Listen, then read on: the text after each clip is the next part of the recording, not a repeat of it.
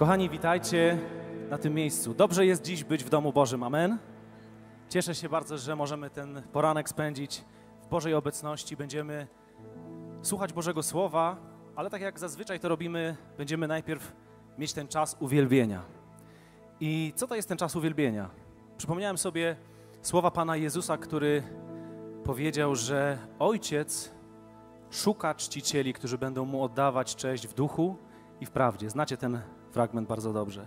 Więc jeśli zastanawiasz się, co dzisiaj Pan Bóg robi, to chcę Ci powiedzieć, że szuka dzisiaj Twojego i mojego głosu, Twojego i mojego serca, abyś dołączył do tych, którzy są Jego czcicielami. Amen? Więc nie czekajmy na ostatnią pieśń, ale od razu wypełnijmy to miejsce radością, chwałą, uwielbieniem dla Niego, bo On jest tego godzien. Amen? Śpiewajmy, dołączcie Wasze ręce, niech wszystko w nas uwielbia Pana.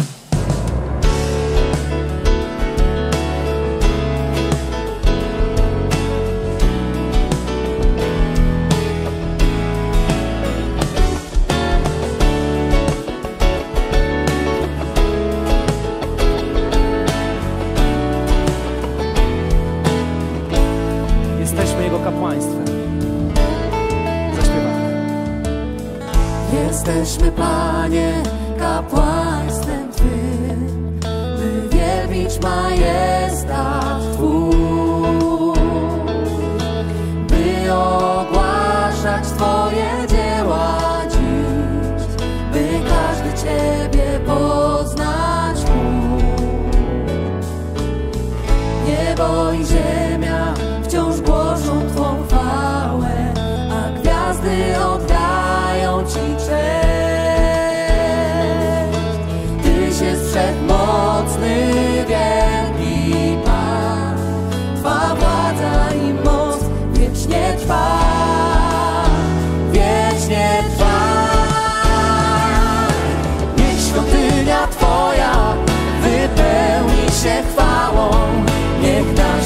Ciebie czczą.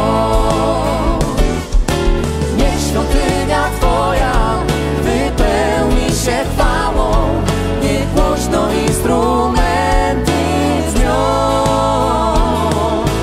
Niech świątynia Twoja, Panie, wypełni się chwałą, niech nasze głosy Ciebie czczą.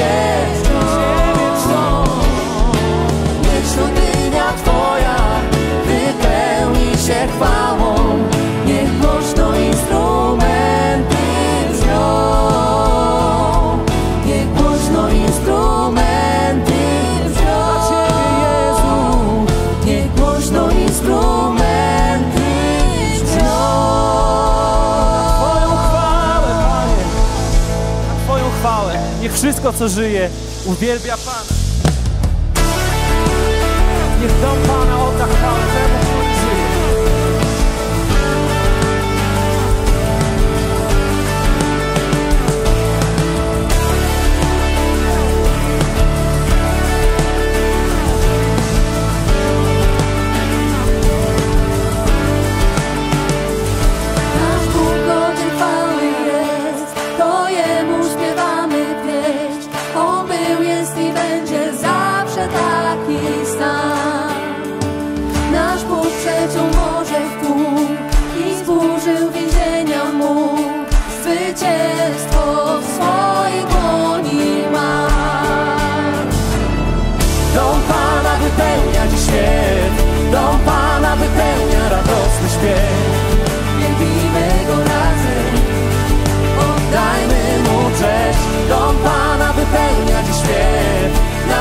last night.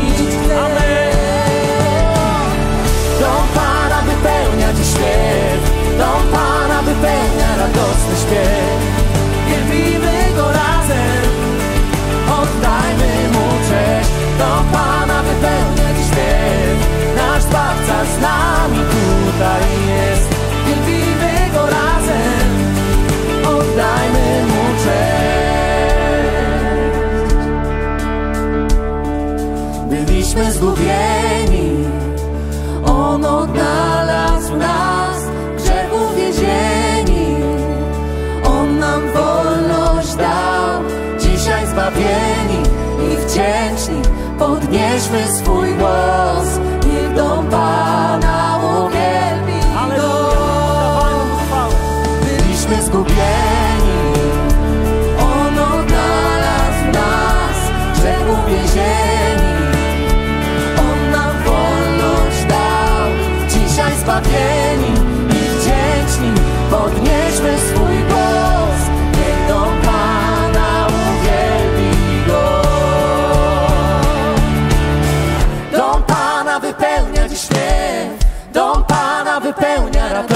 Yeah.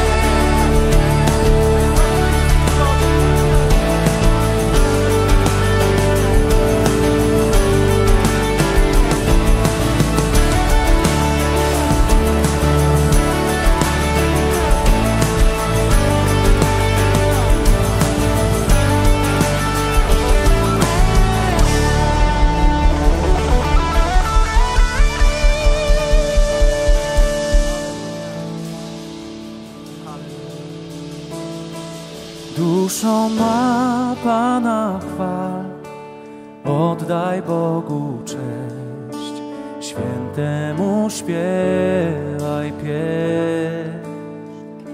Z mocą wywyższaj Go,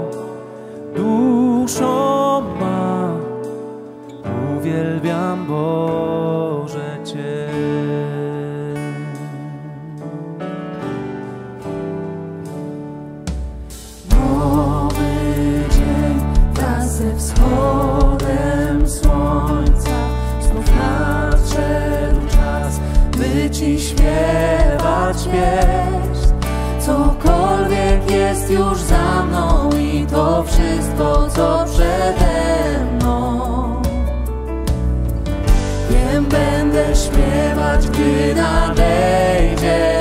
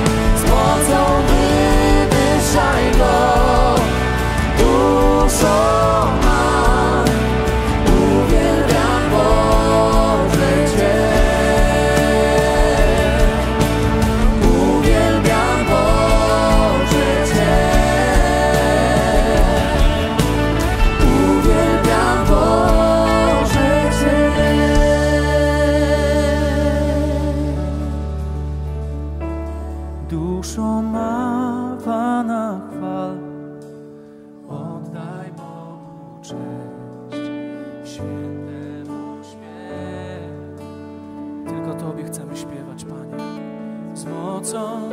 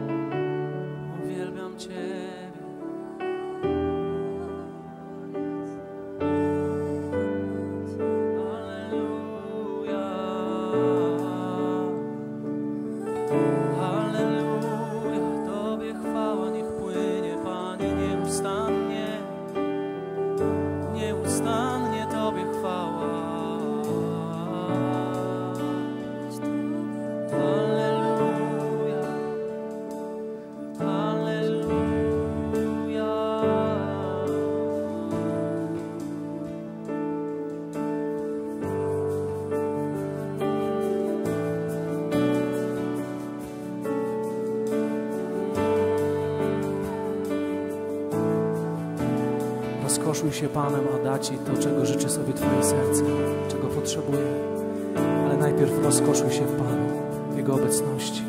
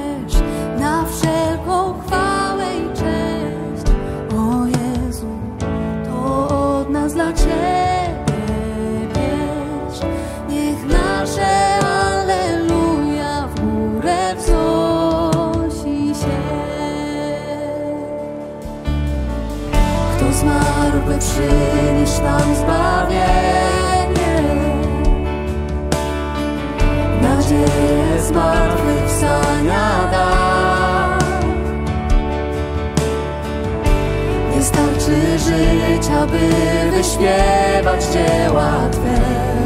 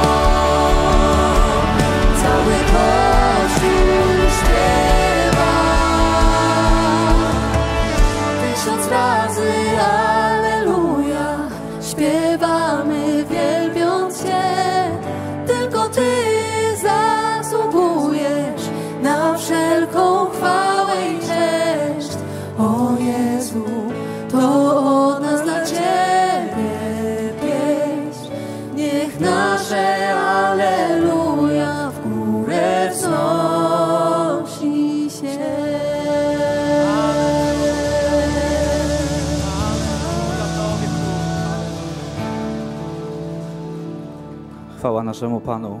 Jak dobrze być w domu Ojca. Jak dobrze jest oglądać piękne rzeczy, które stworzył, ale jeszcze lepiej jest wrócić i zobaczyć Kościół, który wielbi Pana Boga.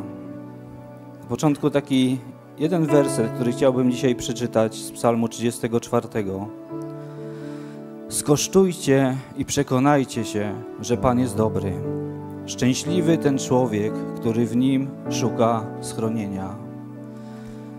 Życzę dzisiaj Tobie, każdy bracie, siostro, każdy, który słyszy, ogląda, który tutaj jest, abyś skosztował i przekonał się, że Pan jest dobry. I abyś był człowiekiem szczęśliwym, który szuka u Niego schronienia. I chcę dzisiaj każdego z nas zachęcić, jeżeli jesteś na tym miejscu, a nie możesz, nie skosztowałeś dawno, nie schroniłeś się w Panu, nosisz rzeczy, które są bardzo trudne i ciężkie dla Ciebie, to to jest dobre miejsce, abyś przyszedł, wylał swoje serce, abyś złożył to przed Bogiem. Jeżeli masz pragnienie wyjść tutaj na środek, przyjdą przyjaciele, którzy będą się o Ciebie modlić, którzy będą stawiać się za, za Ciebie. Skosztuj, jak dobry jest Pan. Mamy kilka próśb modlitewnych. Witajcie, kochani przyjaciele. Mam prośbę o modlitwę. Mój brat ma narość na kręgosłupie wielkości pięści i 16, 16 dnia tego miesiąca będzie miał operację. Lekarze dają mu 50% szans na przeżycie. Ale dla Boga nie ma rzeczy niemożliwych. Módlmy się razem o uzdrowienie w imieniu naszego Pana Jezusa Chrystusa, prosi Mirek. Prośba o modlitwę o Marka, aby dobry Bóg dotknął się jego ciała i uzdrowił go z wszelkiej choroby. Dzień dobry, chciałbym prosić o modlitwę za pięcioletnią Łucję, która ma wrodzoną wadę serca i nie rozwija się prawidłowo. Aby Bóg zechciał dotknąć jej zdrowia i pozwolił jej normalnie żyć, prosi Arek.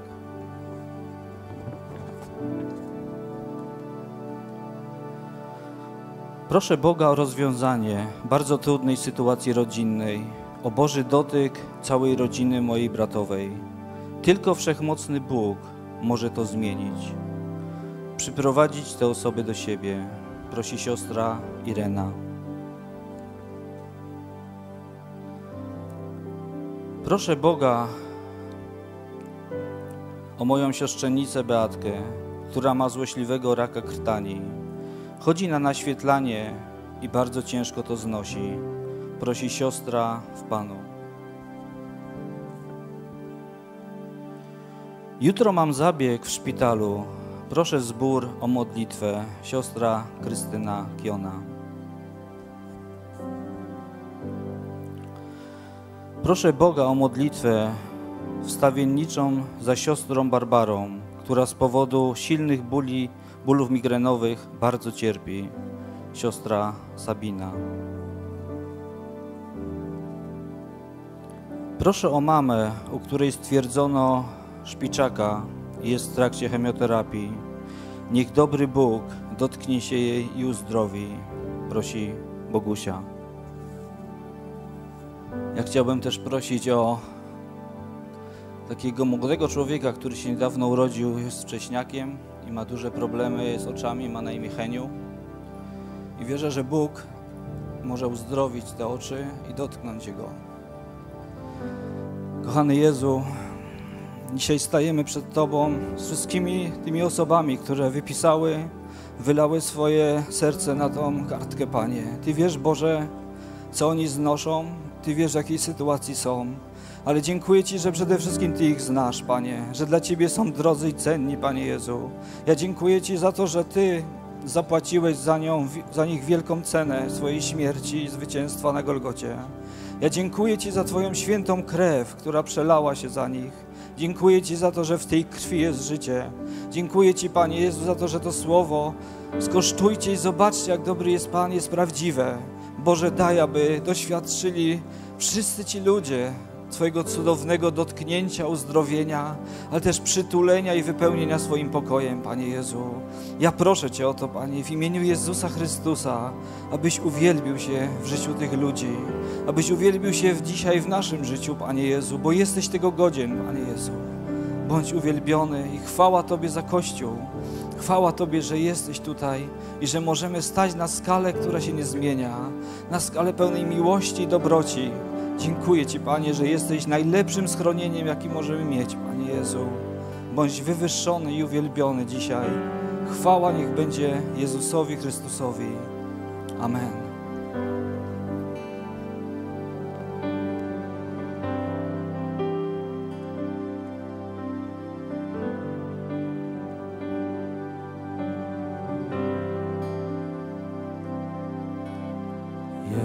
Jezus mój, dobry jest, dobry jest.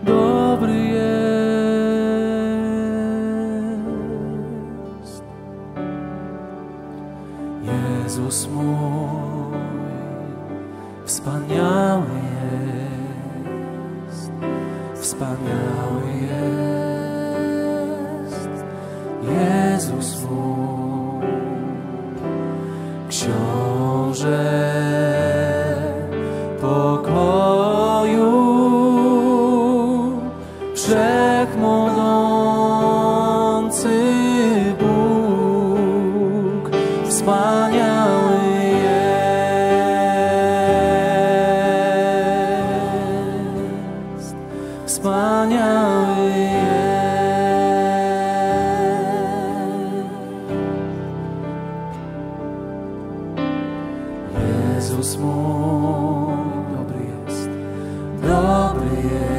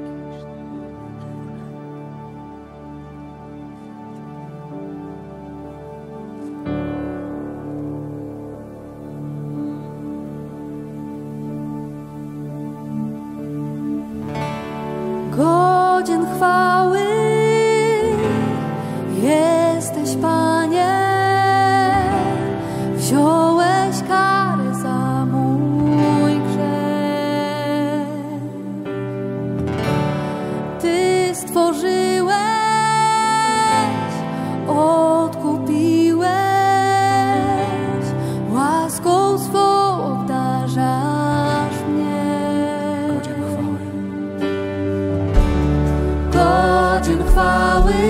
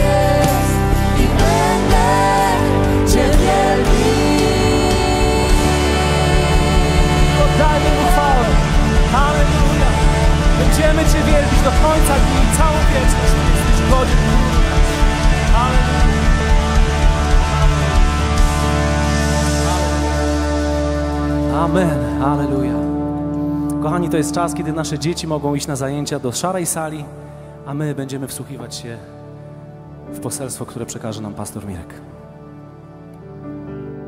Przy okazji przywitajcie kogoś, kto siedzi obok was. Powiedz, dobrze, że tu jesteś.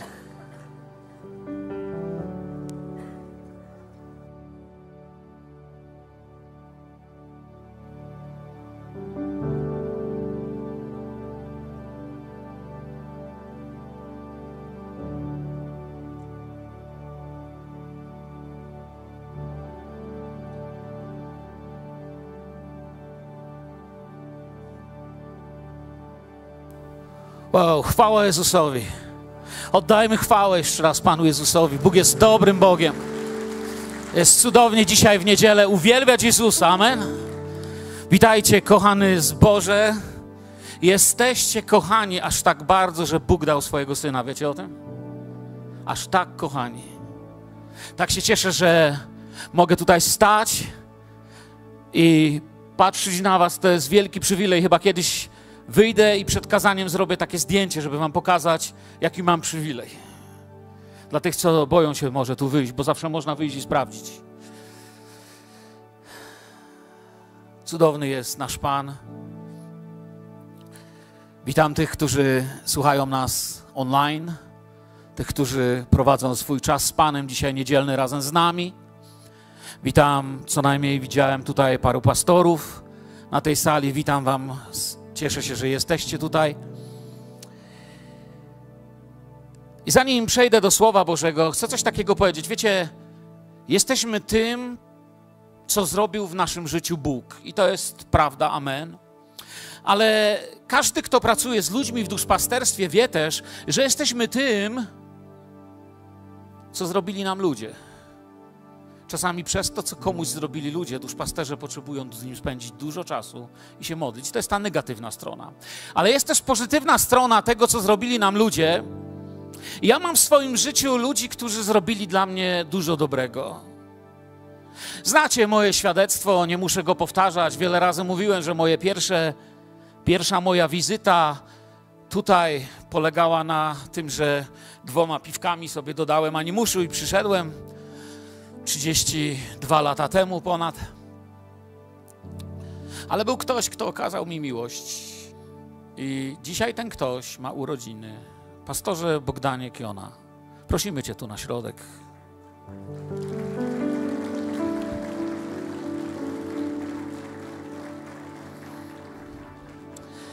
Chciałbym poprosić też naszego pastora, seniora Edwarda Lorka.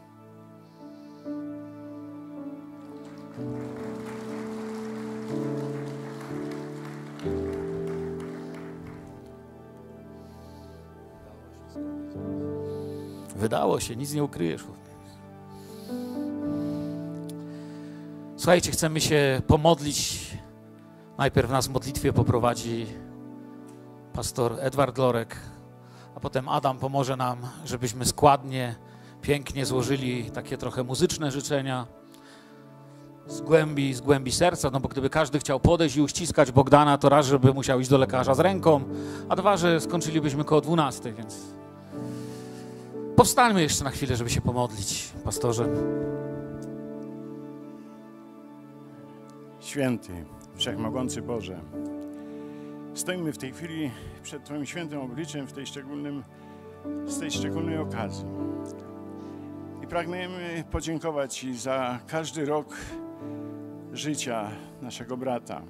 Dziękujemy Ci, że go powołałeś do życia, że troszczyłeś się każdego dnia o jego życie, zachowywałeś od wszelkich niebezpieczeństw. Ale przede wszystkim też pragniemy dzisiaj podziękować Ci, że gdzieś tam stanąłeś na jego drodze tego życia, które powołałeś. I był to moment, kiedy zapisałeś jego imię ponownie w księgach, księgach życia. Dziś, Panie, dziękujemy Ci za każdy rok tego nowego życia, którym go obdarzyłeś po nowozrodzeniu.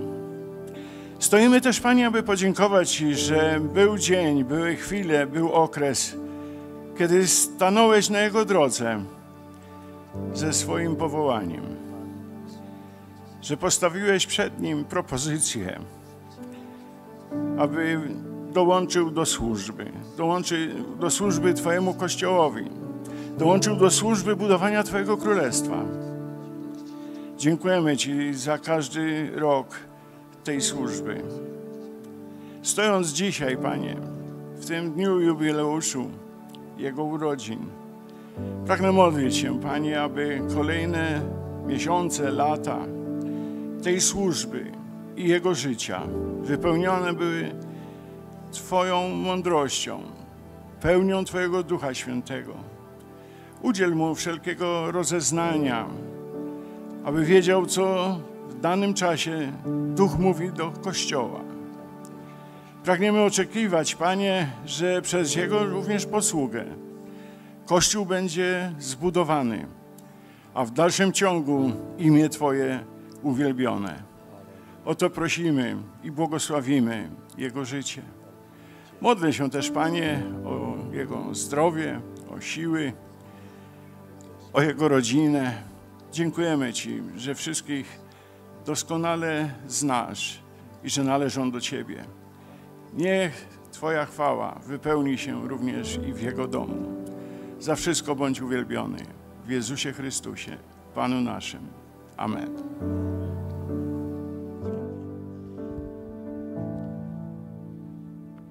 Kościele, to my w takim razie z modlitwą błogosławieństwa zaśpiewamy razem. Niech Ci błogosławi Pan i niechaj Cię strzeże. Niech rozjaśni twarz Twoją nad Tobą i niech da Ci swój pokój. Niech Ci błogosławi Pan. Niech Ci błogosławi Pan.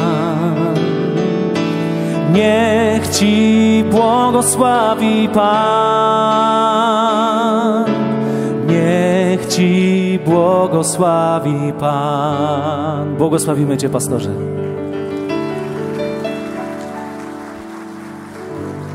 Dziękuję bardzo. Jestem wzruszony, że ktoś pamięta o tym. Chociaż zawsze staram się jakoś tak kameralnie obchodzić swoje urodziny, ale bardzo dziękuję. Tym bardziej, że to są moje 65. Także Brawo! dziękuję bardzo. Y, Chciał pastor kameralnie, ma co najmniej cztery kamery, widzę.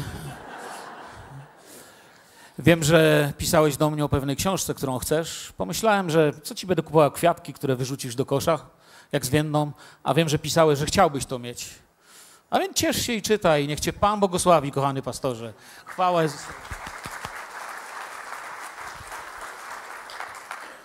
O, dobrze jest być dziećmi Bożymi. Amen. Niedawno wspólnie z przyjaciółmi słuchaliśmy pewnego nauczania, siedzieliśmy sobie razem. Pan w jakiś sposób zaczął nas dotykać, zaczęliśmy sobie robić pewne notatki. I przyznam się, że osobiście Bóg mnie dotknął tym, czym się dzisiaj chcę z Wami dzielić. Nie nadążałem nawet trochę z pisaniem tego, co słyszałem, tego, co dotykało mojego serca, tych przeżyć, tej inspiracji.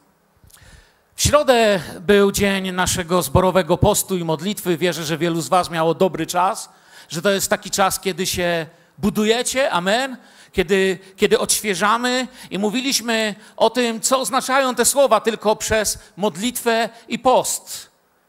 Pamiętacie, powiedziałem takie słowa, że Jezus powiedział wcześniej, parę wersetów wcześniej, kiedy uczniowie nie mogli wypędzić tego demona, robili swoje, no ale nie dało się. I on powiedział: Rodzie bez wiary i przewrotny. Brak wiary oznacza, że jesteśmy oddzieleni od Boga, a przewrotność oznacza, że za bardzo przykleiliśmy się do świata. I wtedy powiedziałem, że dla nas musi być tym takim, to słowo się nam musi otworzyć, musimy zrozumieć, że tylko przez modlitwę i post oznacza odwrócenie tej sytuacji, ponieważ modlitwa przywraca nas ku wierze i przykleja nas z powrotem do Boga, sprawia, że znów mamy z Nim relację, a post odwraca nas z tej przewrotności od świata znów w kierunku Boga. I wtedy możemy modlić się jako Kościół skutecznie i chwała Jezusowi, że tak jak dzisiaj słyszeliśmy tutaj, ja wiem, że te prośby modlitewne to nie był, wiecie, jakiś koncert życzeń, że brat Darek przeczytał, ktoś tam pod nosem coś pomruczał. Ja wiem, że nie tylko tu się modliliście, bo słyszałem i, i, i wiem, że macie prawe serca i pragniecie dobra dla bliźniego, dla ludzi, ale wiem, że te kartki pójdą teraz dalej na wszystkie grupy modlitewne. Słyszałem, że nawet grupy domowe modlą się o to, co tu jest. Ja uważam, że to jest właściwe. Amen. Chwała Jezusowi za zbór, który się modli. Kościół, który chce mieć świadectwo, musi być kościołem modlitwy. Kościół bez modlitwy jest kościołem bez świadectwa. I kiedyś tu o tym mówiłem w czasie pierwszego, pierwszej sesji postu i modlitwy, że jeżeli chcecie zobaczyć grzeszny kościół, to nie trzeba, wiecie, grzebać w doktrynach. Zawsze poznacie grzeszny kościół po tym, że brakuje w nim grzeszników. Grzeszny kościół to jest kościół pełny zadowolonych z siebie ludzi, którzy przyszli, żeby być obsłużeni, a nie żeby służyć. I tak się cieszę, że mogę dziś z Wami. Możemy oglądać nowe osoby bez przerwy przychodzące. Witam też każdego z Was, kto jest dzisiaj po raz pierwszy, drugi, piąty, 150, 500. Super być razem na jednym miejscu. Amen. Dzisiaj coś na temat, jak się właściwie ubrać w kościele.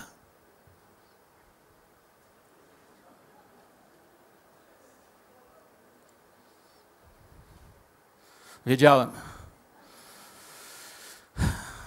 Jest trochę. Nie wiem, jak to powiedzieć, to trochę jakbym chciał Chopina uczyć grać na, forte, na, na fortepianie. Każdy z Was wie, że że no, nie jestem fachowcem, jeśli chodzi o modę, że gdyby nie moja kochana żona, to prawdopodobnie byłbym pastorem, który przychodzi w worku z ziemniaków ze sznurkiem, z taką dziurą na głowę tylko. Ale na szczęście mam żonę, która pilnuje i dzięki niej jako tako mogę się czuć, znaczy nawet nie jako tako, bardzo dobrze. A więc dzisiaj coś na temat, jak się właściwie ubrać i chciałbym w miarę tego słowa, abyśmy się przyglądali sobie.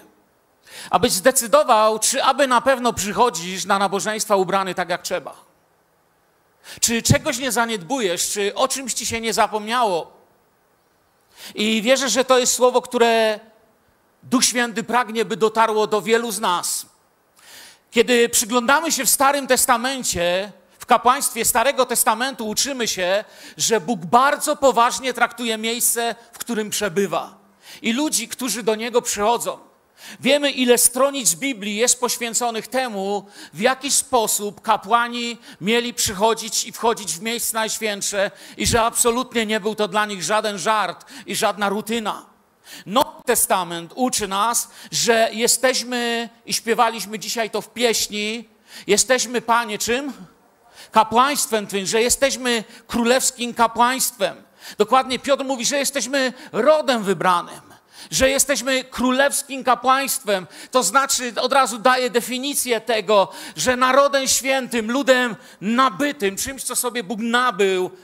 Po co, po co tym jesteśmy? Jesteście królewskim kapłaństwem po to, żebyście się czuli ważni? Nie. Po to, żebyście się mogli pocieszać, no bo jak się człowiek czuje nikim, to chociaż trochę się poczuje kimś nie. Jesteśmy królewskim kapłaństwem, narodem świętym, ludem nabytym, abyśmy rozgłaszali cnoty tego, który nas powołał z ciemności do cudownej swojej światłości. Po to jesteśmy i o tym pisze nam Słowo Boże. I to jest wielki przywilej, wielkie powołanie, co Bóg zrobił. My nie wierzymy, że ja jestem jakimś wybranym kapłanem i nie staję przed wami ja i na przykład pastor Bogdan i nie mówimy do was, słuchajcie, tylko przez nas Bóg działa. Jeśli to i to, jeżeli ja nie powiem, to to i to, tylko ja, pośrednik. Nie. Jesteśmy, Panie, królewskim kapłaństwem.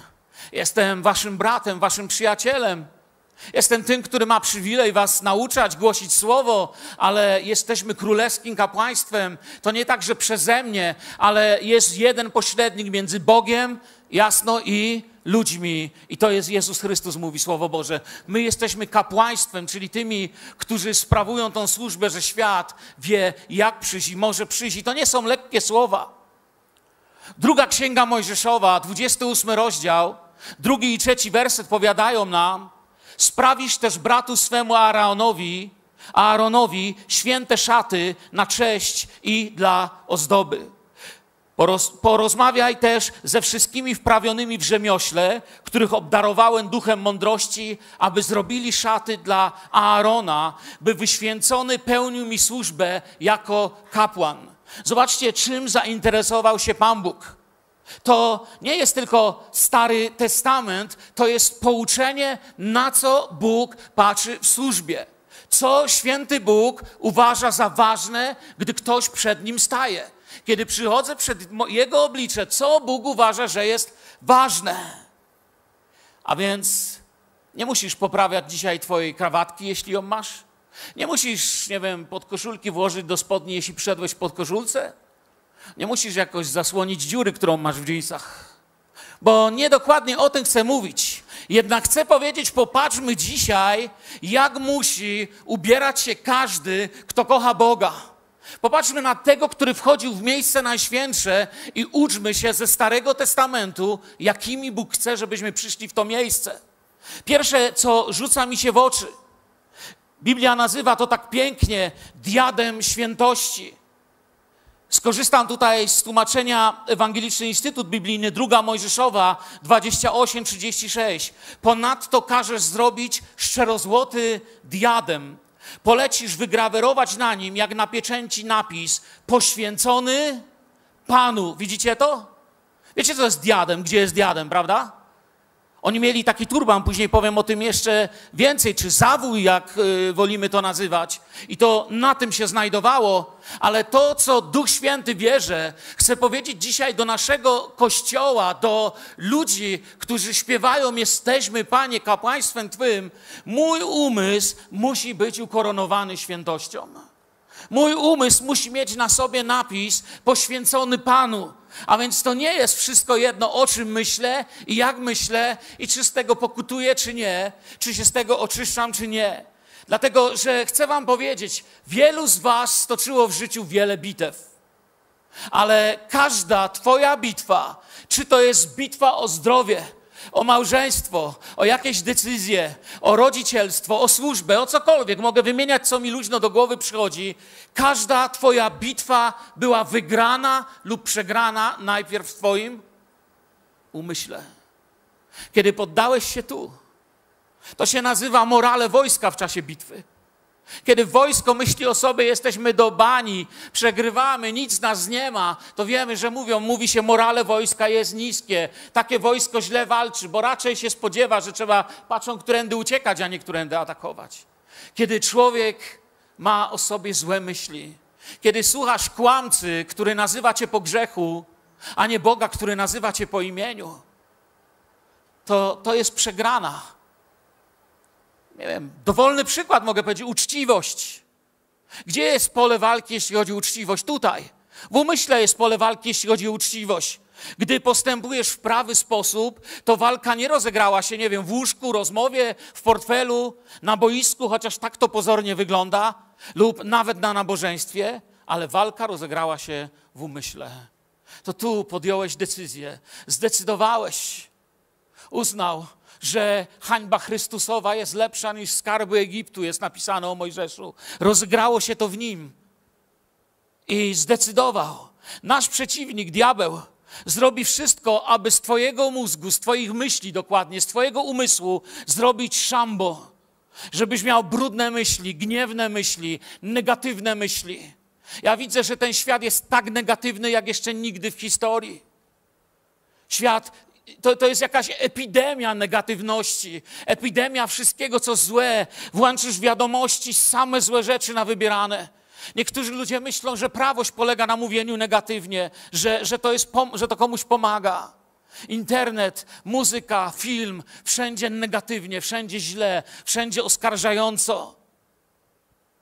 Ale czasem chronisz swój umysł. Mówisz, Panie, pragnę mieć czysty umysł, pragnę być wolny od tych rzeczy, I czasem jest tak, ja to odkryłem na moim własnym przykładzie, w obydwie strony, że jeżeli ktoś chroni swój umysł i chce mieć prawy, święty umysł, mieć tą, ten diadem, poświęcony jestem Panu, o tym, co w górze myślcie, nie o tym, co na ziemi i tak dalej, poświęcony Panu, to diabeł ma jeszcze jeden pomysł.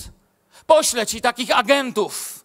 To są zborowi plotkarze, oszuści, pyszałkowie, ludzie lubiący nieprzyzwoite rozmowy. Tak między nami to ci powiem. Ja nie plotkuję, wiesz, to prawda. Plotka to jest każda rozmowa na temat innej osoby co do sprawy, gdy ciebie nie dotyczy, nie jesteś jej częścią i nie możesz pomóc. Każda rzecz ma taką definicję. Zawsze możesz wiedzieć, jak być prawym człowiekiem. Tak samo ktoś mnie kiedyś spytał, wiesz, no, czysty umysł, no ale jak poznać z nagością na przykład sprawę? Jest proste. Nagość, jeżeli nie dotyczy małżeństwa lub medycyny, to prawdopodobnie jest czymś złym. Są zawsze, możesz, możesz spojrzeć słowo. I ma diabeł takich agentów. I wtedy możemy sobie, wiecie, robić kościoły jakie chcemy, może nam tutaj grupa uwielbienia, uwielbiania usługiwać jak chcemy. Możemy sobie śpiewać, modlić się i pościć. Jeżeli nie postanowiłeś mieć poświęcony Panu, czyli właściwy sposób mieć swój umysł, to rodzie bez wiary i przewrotny tylko przez modlitwę i post. Dlatego, że post odwraca nas od oddalenia od Pana, a modlitwa, a, a, przepraszam, post odwraca nas od tego, że patrzymy na świat, a modlitwa od oddalenia od Pana, jak mówiłem. Modlisz się, pościsz, starasz się, walczysz o zdrowie lub dzieci. Przychodzisz i mówisz, pragnę, by moje dzieci były wierzące. Chyba nie ma nic ważniejszego dla rodziców niż wierzące dzieci. Jeżeli dzieci są niewierzące, to rodzic cierpi, a więc przychodzisz walczysz, walczysz o zdrowie. Lekarz dał ci wyniki, nowotwór, taki, siaki, owaki. Wychodzi ktoś, mówi, błagam, módlcie się. I my śpiewamy pieśń, jesteśmy, Panie, królewskim kapłaństwem, ale guzik z tego, nie jesteśmy żadnym kapłaństwem. Nie ubraliśmy owego złota z napisem poświęcony Panu. Przyszedłem po całym tygodniu plotek, marudzenia, oszczerstw, narzekania, złoszczenia się. Bezczelnie staję przed Bożym obliczem i śpiewam, jesteśmy na kapłaństwem Twoim. A Bóg mówi, ja tego nie widzę. I potem mówimy, wiesz, nie wiem czemu czasy cudów przeminęły. Chciałbym mieć taki kościół jak w dziejach apostolskich. Na pewno. Jesteśmy poświęceni Panu. Co znaczy poświęceni? Poświęceni znaczy oddzieleni dla. Święty znaczy oddzielony. W domu możesz wziąć kubek, który poświęcisz tylko do picia wody źródlanej. Na przykład. I on jest wtedy poświęcony tylko na wodę źródlaną. On jest poświęcony wodzie źródlanej. Koniec, kropka. Nie pijesz w nim kawy, nie pijesz w nim herbaty. Chcę was dzisiaj namówić. Patrząc na ten świat, gdzie świat myśli, że cierpi, cierpi przez politykę, Świat myśli, że cierpi przez wojny, głód, skażenie, nienawiść. Chcę Wam powiedzieć, świat wcale przez to nie cierpi. Jedna rzecz, gdyby się zmieniła na świecie, wszystko znika. Świat cierpi przez brak moralności. Świat ma moralny problem, tylko nie chce go nazwać po imieniu. Ty bądź inny jesteś poświęcony Panu. Otocz diabła sankcjami, blokadą. Nie pozwól mu, żeby ci dawał rzeczy. Słowo Boże mówi, nie chodźcie w obcym jarzmie, 1 Koryntian 6, 14, 16, nie chodźcie w obcym jarzmie z niewiernymi. Bo co ma wspólnego sprawiedliwość z nieprawością? Albo jakaś społeczność między światłością a ciemnością? Albo jaka zgoda między Chrystusem a Beliałem? Albo co za dział ma wierzący z niewierzącym? Jakiż układ między świątynią Bożą a bałwanami? Myśmy bowiem świątynią Boga żywego, jak powiedział Bóg, zamieszkam w nich i będę się przechadzał pośród nich i będę Bogiem ich, a oni będą ludem moim. Bóg mówi, są rzeczy, w których choćbyś chciał, będąc dzieckiem Bożym, zgody nie wprowadzisz, bo nie ma między nimi nic wspólnego. Jesteś mój, należysz do mnie, jesteś królewskim kapłaństwem i chcę dzisiaj, abyśmy jako Kościół wyznali, Panie, pragniemy mieć umysł poświęcony Tobie, poświęcony Panu. Co Wy na to? To jest to, czego pragnę. To jest wezwanie. Działanie oparte o nasze decyzje, to, to się nie stanie przez to, że tu przychodzimy. Oto z czym i, i kim mamy coś wspólnego, to, to jest nasza decyzja, gdzie naiwnie próbujemy wprowadzać zgodę, a Bóg mówi, nie będzie między tym zgody, nawet jeżeli będzie ci się wydawało, że będzie. I dlatego pierwszy Koryntian kieruje prorocze słowa, które często były nadużywane, często były używane, żeby z braku cierpliwości, braku modlitwy i właśnie braku postu, braku umiejętności dyskusji i modlenia się o siebie wzajemnie, były używane do dzielenia, do rozrywania ciała Chrystusa, ale zupełnie niczego innego dotyczą, dotyczą nas wobec tego, co ten system, co ten świat reprezentuje. 1 Koryntian 6, 17, 18.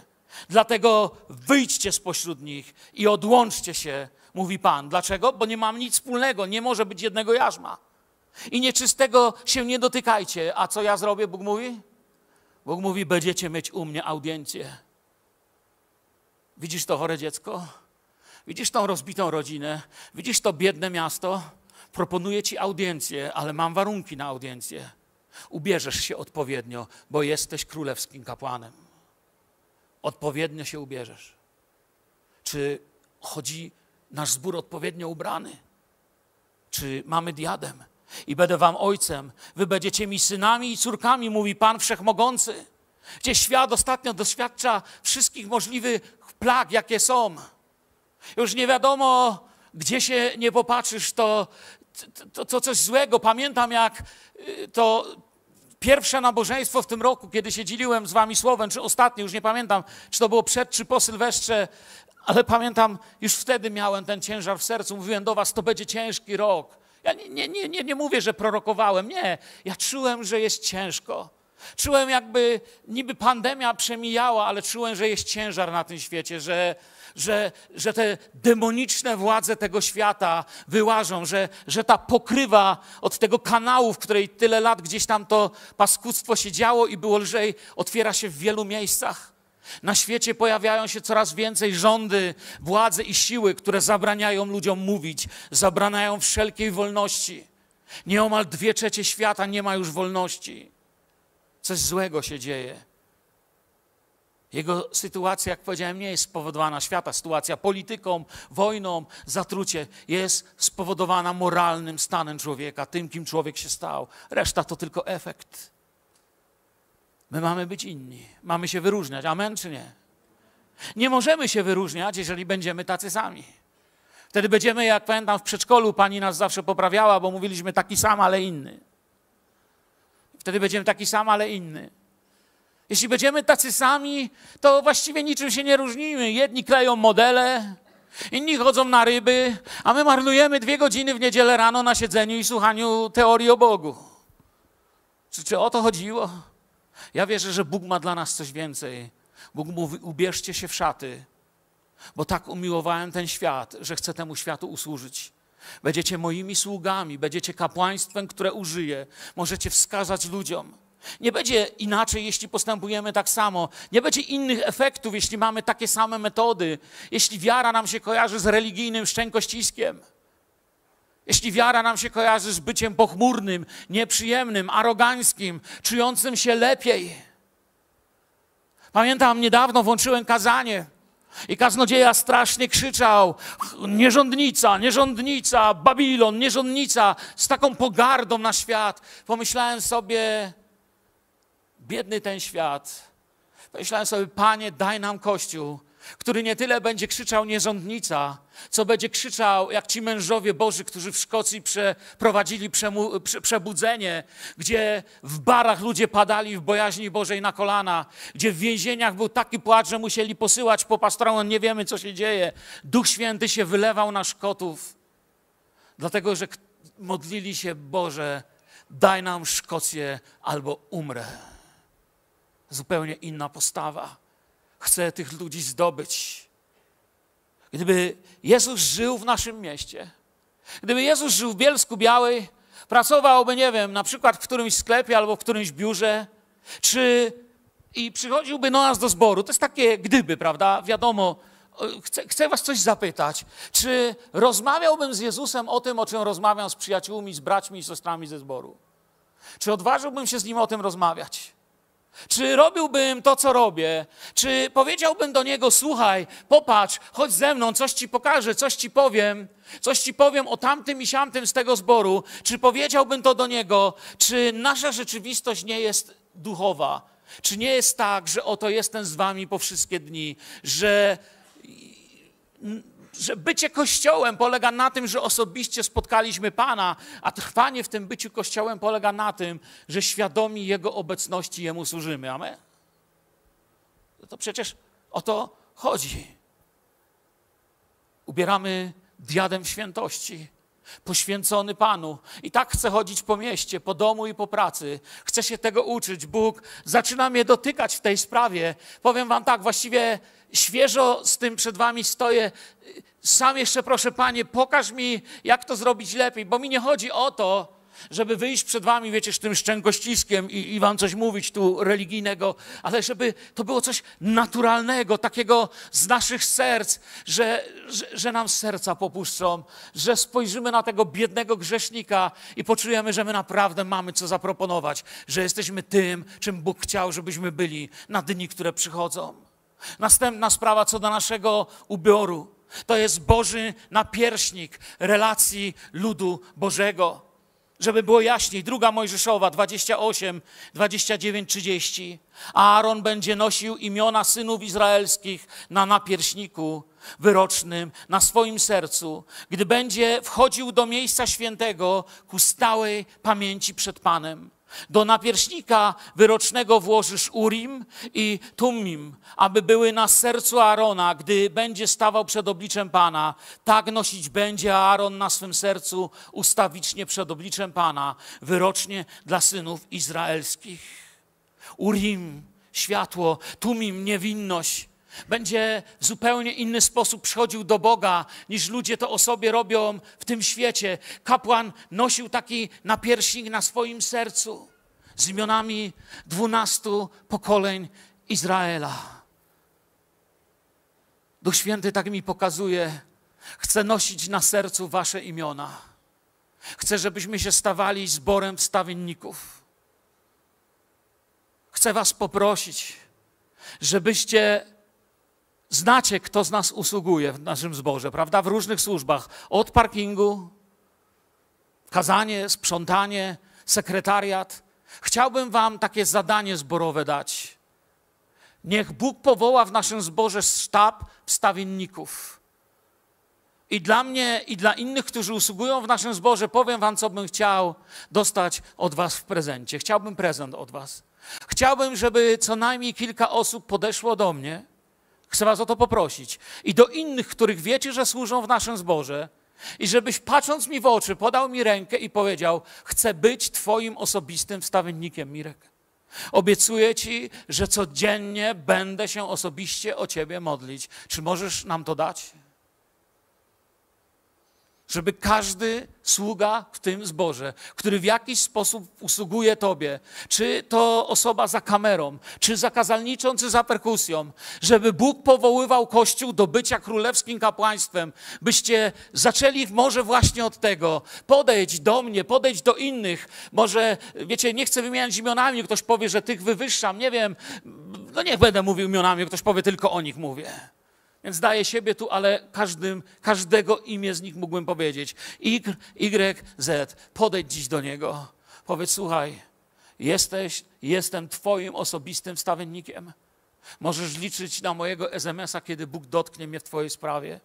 Możesz liczyć na to, że kiedy mi napiszesz, że mam się o ciebie modlić, będę się o ciebie modlić.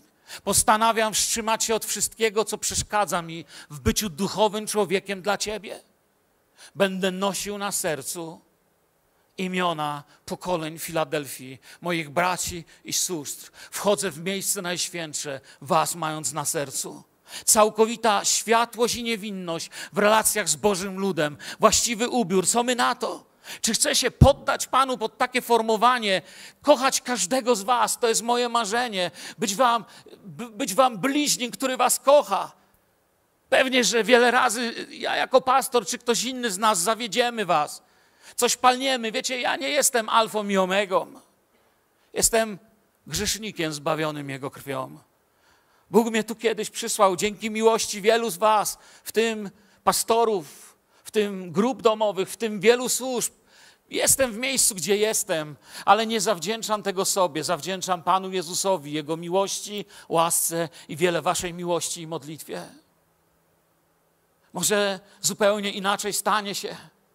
Gdy po nabożeństwie zamiast do kogoś podchodzić, nie będziemy mówić, wiesz, muszę ci coś powiedzieć, nie obraź się, ale słyszałem.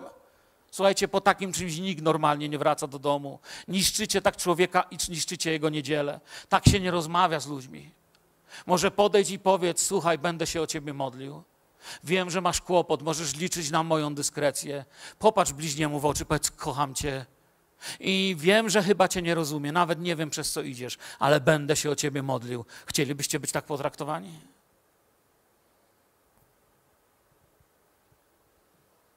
Być właściwie ubranym. Twoje, moje życie jest najbardziej uformowane przez tych, którzy pozwalają się używać Bogu albo diabłu. Cieszyłem się, albo parę razy w życiu nie spałem przez tych, którzy pozwolili się użyć Bogu albo diabłu.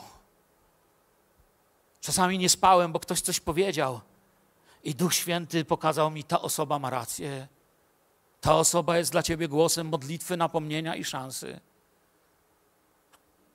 Nasze serce musi być czyste, abym podejmował właściwe decyzje. Wielu z nas kieruje się ranami, bliznami, podejmujemy złe decyzje. Ja chcę to w sobie zmienić, nie chcę żyć inaczej. Stan naszego serca odzwierciedlają właśnie nasze decyzje, pasja albo obojętność.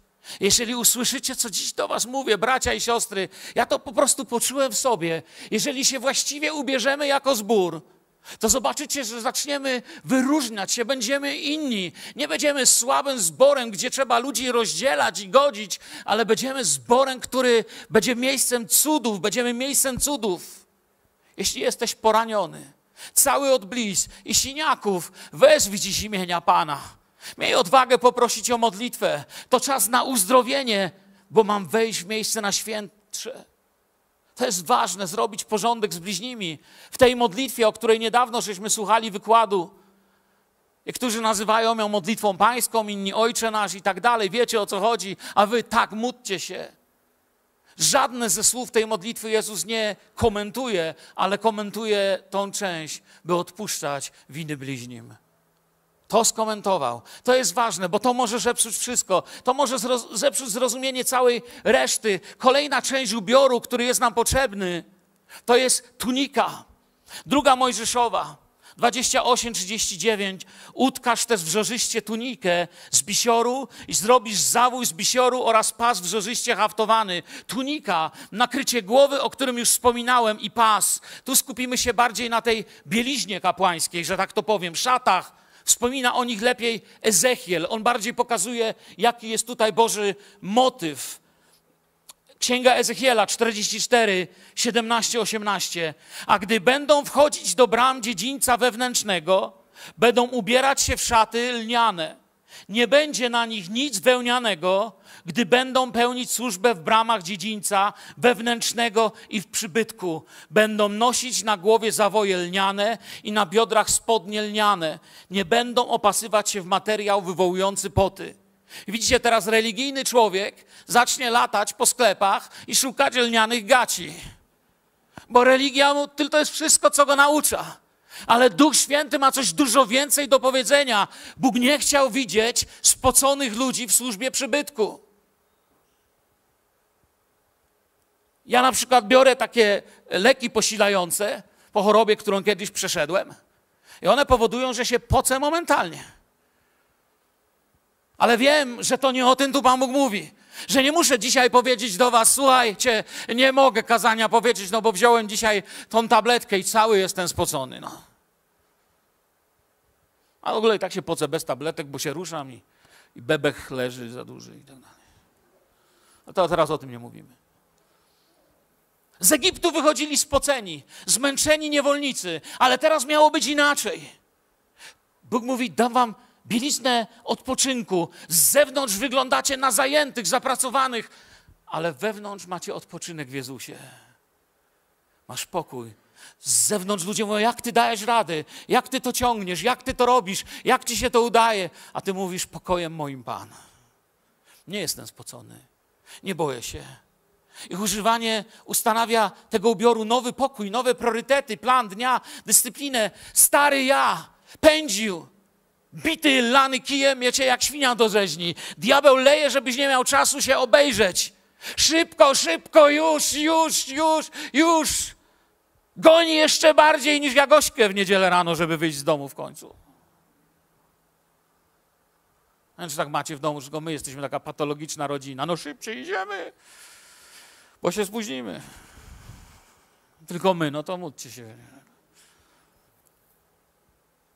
Wiecie, ten Bożek, ten Baal i te wszystkie bożki Rzymu, Egiptu, one były nastawiane na to, co chcesz, co czujesz, jakie masz chuci, jakie masz odczucia, jakie masz pragnienia.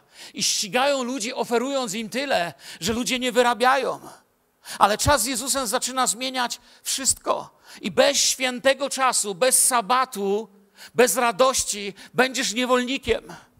Człowiek potrzebuje sabatu, czasu odpocznienia z Bogiem, kiedy niczego nie produkuje, niczego nie wyrabia, ale ma czas z Bogiem. Człowiek potrzebuje wytchnienia. Ja na przykład odkrywam, potrafię wiele, wiele zrobić, potrafię się z wieloma ludźmi spotkać, modlić, odwiedzać. Wiecie, że to robię, ale w tym samym czasie, kiedy poczuję, że już dłużej nie wyrabiam, że normalnie zaraz nie dam rady, to jest to dla mnie pierwsza świecąca się na czerwono kotrolka, że prawdopodobnie jako pastor wychodzę poza wolę Bożą.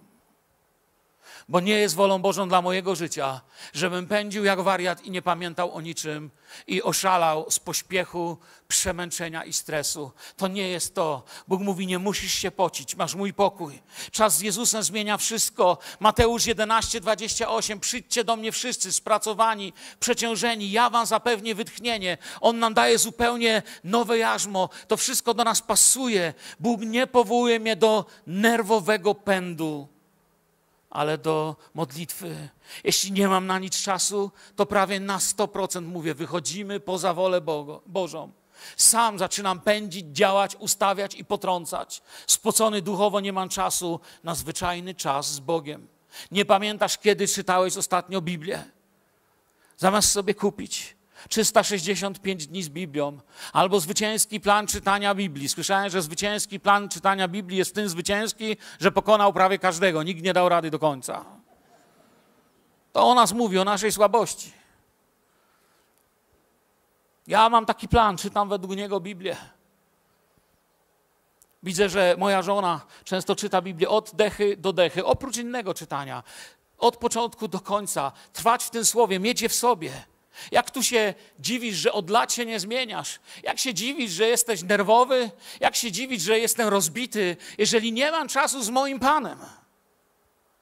Wierzę w więcej i więcej pracy, ale nie wierzę już w modlitwę, nie wierzę w post, nie wierzę w dziesięcinę, nie wierzę w hojność, tylko wierzę więcej, więcej, a diabeł leje szybciej. Co tam 12, 14 godzin? I człowiek staje się niewolnikiem jak w Egipcie.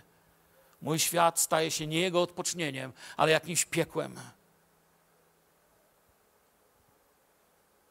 Na wierzchu tego ubrania była szata. W drugiej Mojżeszowej 28, 31, 35 płaszcz pod efot zrobisz cały z fioletowej purpury. W jego środku będzie otwór na głowę. Otwór ten będzie miał dookoła obwódkę utkaną, jak w otworze skórzanego pancerza, aby się nie podarł. Na jego dolnych brzegach zrobisz dookoła jabłuszka granatu z fioletowej i czerwonej purpury i z karmazynu, a między nimi wokoło złote dzwoneczki.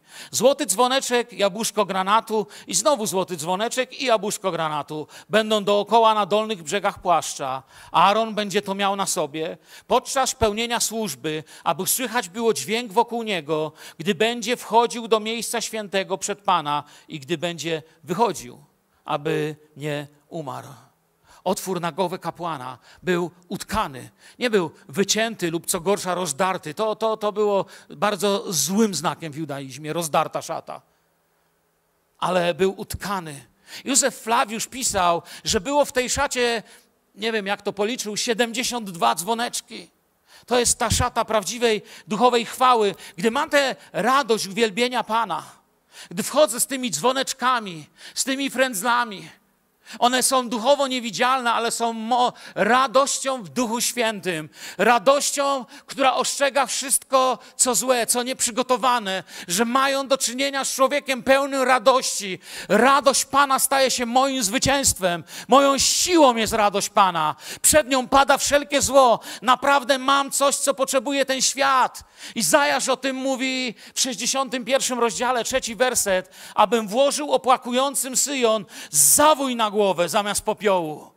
Namawia Izrael, ubierzcie się właściwie. Dał im olejek radości zamiast żałobnej szaty i pieśń pochwalną zamiast ducha zwątpienia. Wtedy nazwą ich dębami sprawiedliwości i szczepem Pana ku Jego sławie. I wtedy Żydzi stanęli, mogli podnieść ręce, mogli się zacząć modlić tą modlitwą. I rozlegał się hebrajski śpiew, jak dobrze i miło, gdy bracia w zgodzie żyją. Jest to jak wylanie Ducha Świętego na ciało Chrystusa od głowy, którą jest Chrystus, przez brodę, którą jest Aaron, czyli wygłaszający przez jego szaty, które mi usługuje. Jak dobrze i miło, gdy Kościół chodzi w jedności. I kończąc powoli, zanim się będę z wami modlił, zamiast popiołu piękno powołania dla Jezusa, zamiast żałoby i rozpaczy radość w Duchu Świętym, zamiast marudzenia i zwątpienia czas chwały i uwielbienia. Co złego jeszcze na tym świecie ostatnio się nie stało? Co przyniosą jutrzejsze wiadomości? Przed kim ludzie drżą? Ja dzisiaj, gdy za chwilę z wami się pomodlę, zaraz skończy się nabożeństwo, idziemy na nasze obiady, do naszych rodzin, do naszych domów. Nie bójcie się. Wiadomości nie będą lepsze, chcę wam powiedzieć. Ale mamy dom w niebie, wiecie o tym? To nie są żarty. Wchodzimy w miejsce najświętsze i możemy jeszcze coś temu światu dać. Kościół ma inne nastawienie. Mamy inną radość. Drugi Koryntian pięknie to ubiera w słowa, jako zasmuceni, ale zawsze weseli. Jako ubodzy, jednak wielu ubogacający. Jako nic nie mający, a jednak wszystko posiadający. Zobaczcie to. Pamiętacie wykład paradoksy Kościoła? Mówiłem, prawda? Że Kościół silny w słabości, bogaty w ubóstwie. Wydawałoby się, że pokonany, a zwycięski nasz Pan. I Kościół, patrzysz na świat zasmucony, ale z radością. Mój dom, do którego tęskni moja dusza. Ubodzy, którzy ubogacają i rozdają. Można nic nie mieć i mieć wszystko, można wszystko mieć, nic nie mieć. Świat opracował metody przemysłu, cały przemysł cieszenia się, ale się smuci.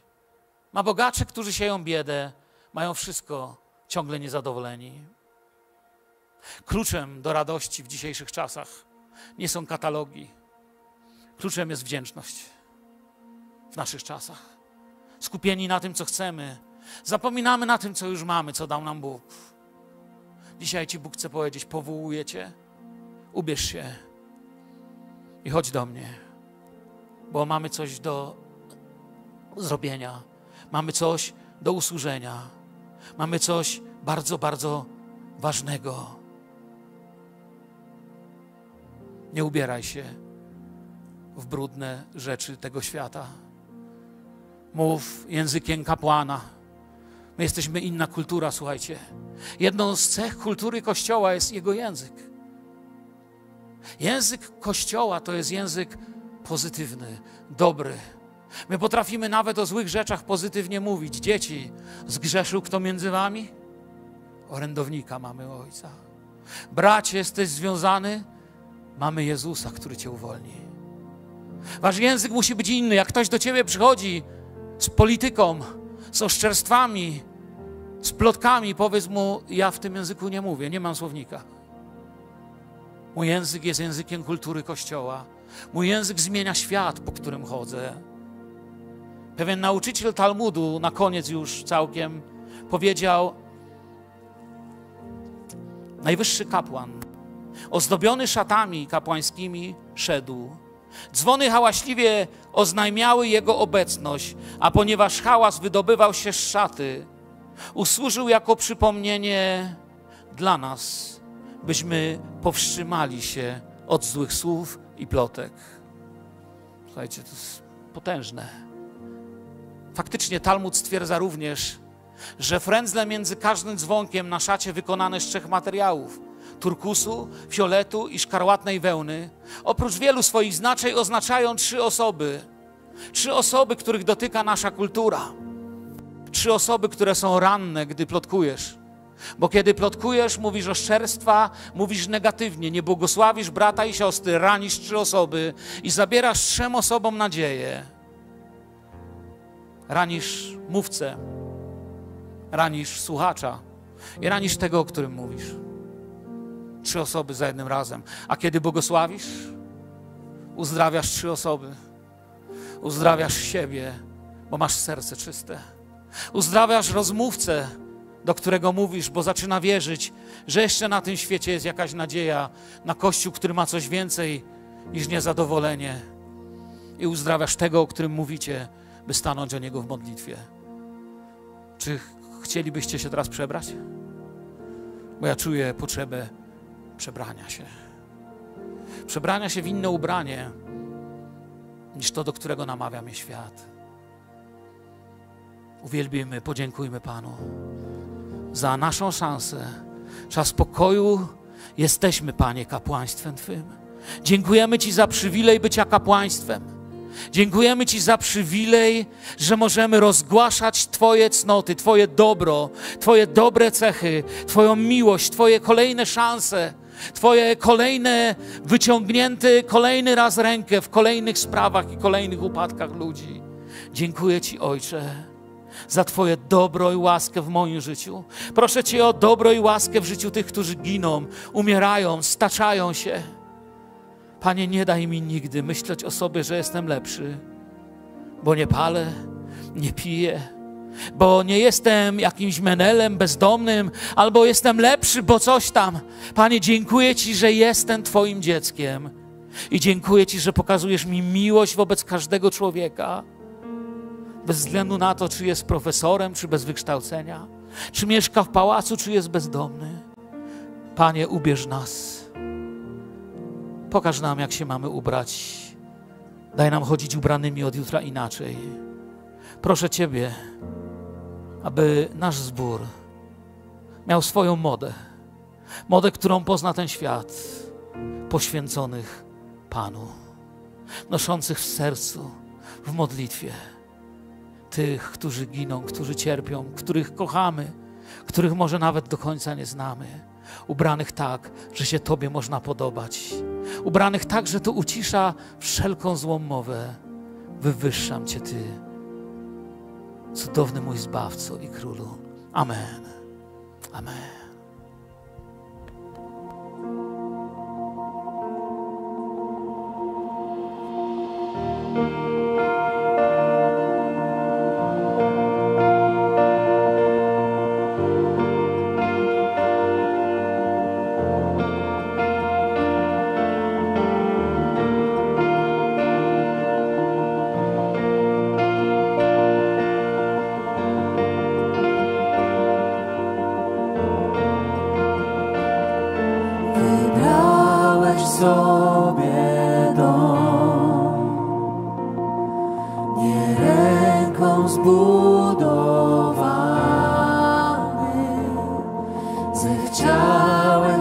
mieszkać w nim.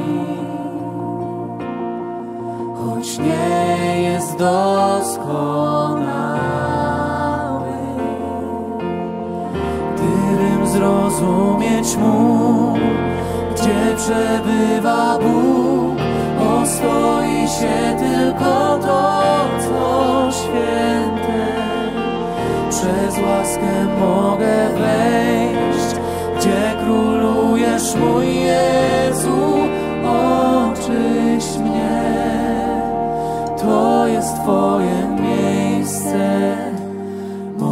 serce Ciebie pragnę więcej. Amen. mniej siebie zapominam o tym, co jest za mną. Z wiarą sięgam po to, co przede mną.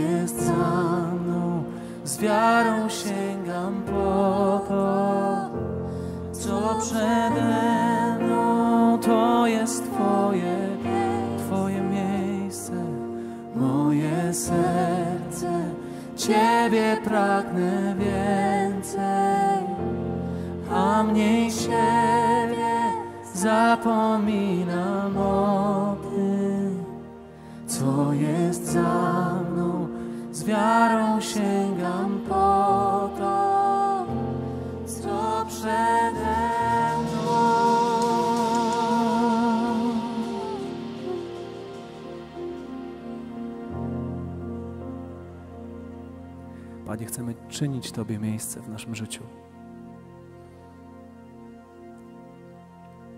I niech tak będzie, jak śpiewamy. Zanurz nas w swojej obecności, w swoim duchu.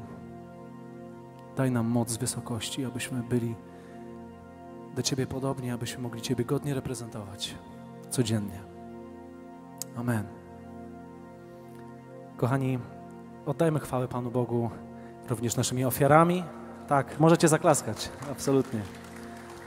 Oddajmy Panu Bogu chwałę też tym, co posiadamy. Poproszę braci, aby zebrali kolektę, a my, trwając jeszcze przed Bogiem i czyniąc z tych pieśni i z tekstów wyznanie naszych serc, amen, bo to jest uwielbienie.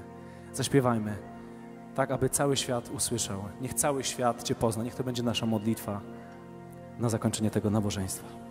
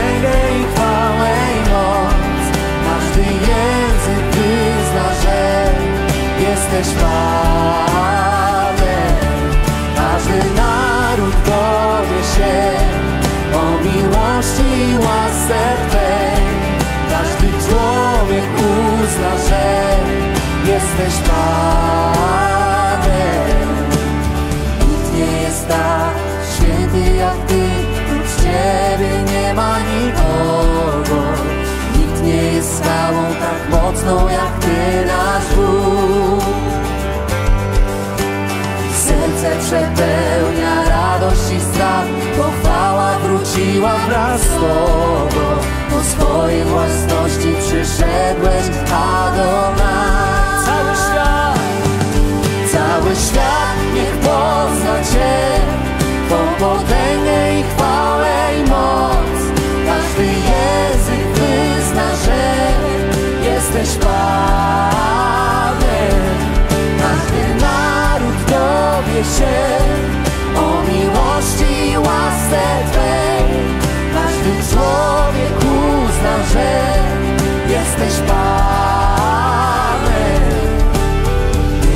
Wszystko wiesz, przenikasz i znasz i jesteś pewną ostoją. Najsłabszych podnosisz, osłaniasz tarczą swą. Zuchwali i dumni rozproszą się, lecz równi ucieszą się Tobą. Pieśni zwycięstwa nie głoszą dawnego. Aż cały świat usłyszy.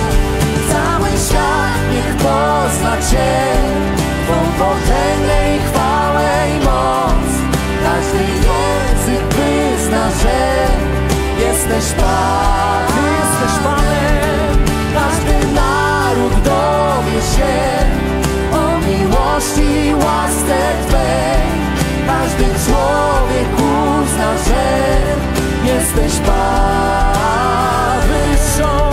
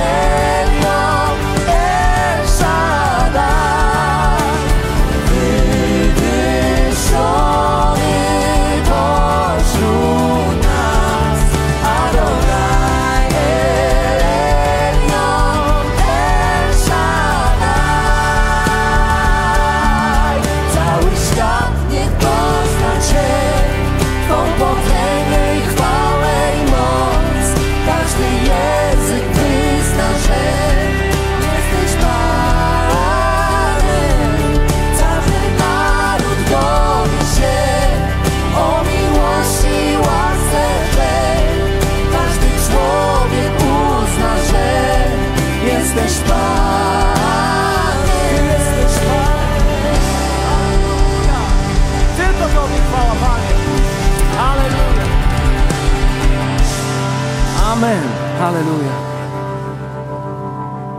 Amen. Usiądźcie. Dlaczego tak jest, że wszystko co dobre szybko się kończy? Dziękujemy zespołowi, że nas prowadził pięknie w uwielbieniu. Dziękuję pastorze za słowo. Nie wiem, czy mam właściwy ubiór. Dziękuję. Kochani, przed nami e, ogłoszenia, jak się domyślacie. W zeszłym tygodniu nie było ogłoszeń.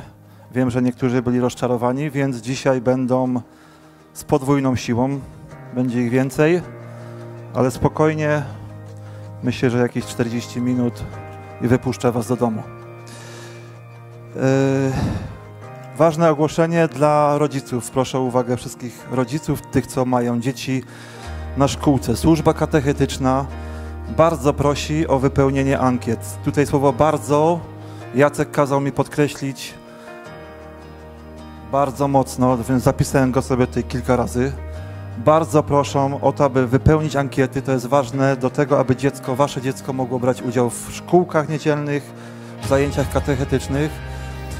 Yy, nauczyciele i Jacek będą stali tam na korytarzu, będą te ankiety rozdawali. Proszę zabierzcie, wypełnijcie, oddajcie z powrotem.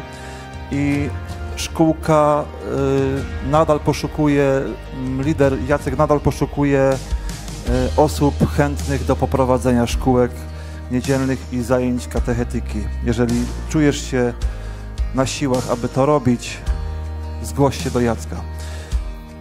Drugie ogłoszenie wiadro. Nie wiem, czy wiecie, po co jest to wiadro. No nie jest do zbierania ziemniaków ani pomidorów. Nie mam tam też farby do przemalowania tej sceny. Na biało to jest wiadro, które pojedzie we wrześniu na Ukrainę. Ale misja nasza jest taka, aby to wiadro zapełnić słodyczami. Zbieramy do tego wiaderka słodycze. Y, We wrześniu pojedzie y, transport, kolejny transport z darami na Ukrainę i między innymi to wiaderko. Rozmawiałem z Antkiem i mówił, że kiedy dzieci dostają te słodycze z tego wiadra, to powoduje ogromny uśmiech na ich y, ustach. Także pomóżmy w wypełnieniu tego wiadra. Ja wierzę, że będzie tego więcej, że to nie będzie tylko jedno wiadro, że będziemy tych wiader potrzebować więcej. Do końca sierpnia Antek i Royal Rangers będą stali tam na korytarzu, będą zbierali, każdą niedzielę będą zbierali te e, słodycze. To z tego, co dzisiaj przed nami jeszcze wiele wydarzeń we wrześniu. Kończą się wakacje i ruszamy ostro z różnymi służbami. Wrzesień zaczynamy 3 września, pierwsza sobota, zaczynamy konferencją dla młodych pod tytułem Powołany, by służyć. Rozmawiałem z Klaudią wczoraj, zadałem jej pytanie, kto to jest młody, kto może przyjść na tą konferencję. I ustaliliśmy, że nie ma wieku jakiegoś górnego. Jeżeli masz nawet 65 lat, jak nasz pastor, a czujesz się młody, jesteś zaproszony na tą konferencję. Powiem może, kto będzie mówcą na tej konferencji. Ania Greenwood, Damian Szafranek, Irmina Wolniak i trochę mniej znany Mirosław Kulec. Nie wiem, czy kojarzycie. Konferencja jest płatna. Płatna dlatego, że będą posiłki. Musimy też opłacić mówców, także jakaś tam drobna opłata. Konieczność zarejestrowania się przez stronę, przez Facebooka. Młodzi wiedzą, trzeba się zalogować, zarejestrować, wpłacić pieniążki. Całość zakończymy wieczorem uwielbienia. Z tego co wiem, zagra Pat Life, tak? I na ten wieczór uwielbienia zaproszeni są wszyscy, wstęp jest wolny. Kolejne ogłoszenie, kolejna sobota we wrześniu, 10 września, śniadanie dla kobiet. Mówcą na tym, y, na tym wydarzeniu będzie Małgorzata Wołkiewicz Tomaszewska. Nie wiem, czy dobrze powiedziałem. Serdecznie zapraszam. Obowiązują zapisy. Wstęp jest wolny. Obowiązują zapisy u Izy Lorenz i u Agatki Haręży. Koniecznie się zapiszcie. Tam jest też limit. Budynek nie pomieści aż tylu kobiet, także kto pierwszy, ten lepszy. Zapraszam serdecznie. Tydzień później, 17 września, jak widzicie, każda sobota we wrześniu będzie zajęta. Konferencja dla mężczyzn. Kochani, ta służba jest bliska mojemu sercu, bo też jestem w tej służbie dla mężczyzn i bardzo byśmy pragnęli z Krzysiem, żeby każdy mężczyzna z tego zboru wziął udział w tej konferencji. Konferencja pod tytułem Na co masz wpływ? Będziemy się zastanawiać, y, na co tak naprawdę mamy wpływ, nie tylko w kościele, ale też w życiu codziennym. Myślę, że ta konferencja pozwoli nam odpowiedzieć na to pytanie. Koszt 70 zł pod warunkiem, że zarejestrujecie się do końca sierpnia. Przelewem płatne, konieczność rejestracji przez stronę facebookową. Jeżeli ktoś nie wie, jak to zrobić, będę tutaj dzisiaj stał z przodu, bo tam już korytarz będzie zajęty przez rangersów, przez nauczycieli, więc będę tutaj stał z komputerem. Jeżeli chcesz się zarejestrować, nie wiesz jak, pomogę, zapraszam Cię serdecznie. Koszt, mówiłem, 70 zł do końca sierpnia, później już 90 zł płatne na miejscu. I co jeszcze? Kończymy też wieczorem uwielbienia, na którego zapraszamy wszystkich, nie tylko mężczyzn, siostry również są zaproszone. Zakończymy ten dzień pięknym uwielbieniem. I uwaga, będzie niespodzianka. Coś, czego nie było jeszcze nigdy w dziejach tego zboru przez 100 lat. Nie było tutaj czegoś takiego, także jeżeli chcesz się dowiedzieć, co to będzie, musisz tu być. Kochani, to chyba wszystko, jeżeli chodzi o ogłoszenia z mojej strony. Ja za chwilę zaproszę jeszcze naszych gości. Mamy gości, którzy chcą powiedzieć coś o y, służbie dla małżeństw. Ale zanim to zrobię, chciałem jeszcze pożegnać tych, co nas oglądają. Kochani, wiecie, że jesteście częścią tego zboru. Cieszymy się bardzo, że jesteście, że nas oglądacie. Cieszymy się z każdego komentarza, jaki dajecie. I chcieliśmy Was serdecznie zaprosić, jeżeli jesteście gdzieś z okolic, albo jesteście mm, może gdzieś z dalsza, ale przejeżdżacie na wakacje, jesteście przejazdem przez Bielsko, serdecznie, serdecznie Was zapraszamy. Wpadnijcie, powiedzcie, że jesteście z innego zboru, że oglądacie, a dostaniecie na pewno kawę. I uścisk pastora. Serdecznie zapraszamy. Zapraszam naszych gości.